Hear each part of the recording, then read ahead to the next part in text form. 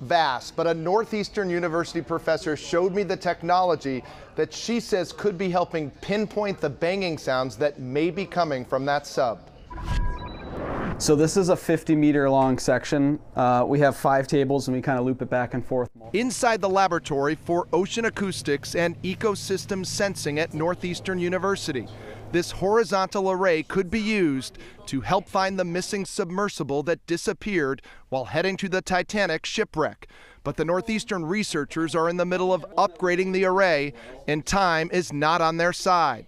Sorry, it's a little bit of a mess. Max Rademacher is a PhD student working in the lab. If this were available, do you think it could help in the search? Yeah, we'd probably already be out there, to be honest. Purnima Ratilal Makris is a professor of electrical and computer engineering who runs the lab. She says it's likely a horizontal array like this is being deployed in the search area. We can look all 360 degree directions, and if we find something interesting, we know what direction it's at. These are sounds from a humpback whale they recorded at the Great South Channel off the East Coast in 2021. The professor says the horizontal array can help confine the search area. If the banging is still going on and we, if we receive the signal, we are able to um, you know, pinpoint and say, yes, this is, sounds like banging and um, you know, it could be coming from the submersible.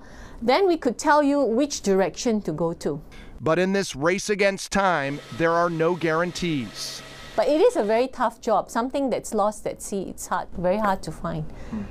There are a lot of sounds in the ocean, but the professor says the technology allows them to focus in on certain sounds and eliminate others, which could be helpful in this search. Mike Beaudet, 5 Investigates.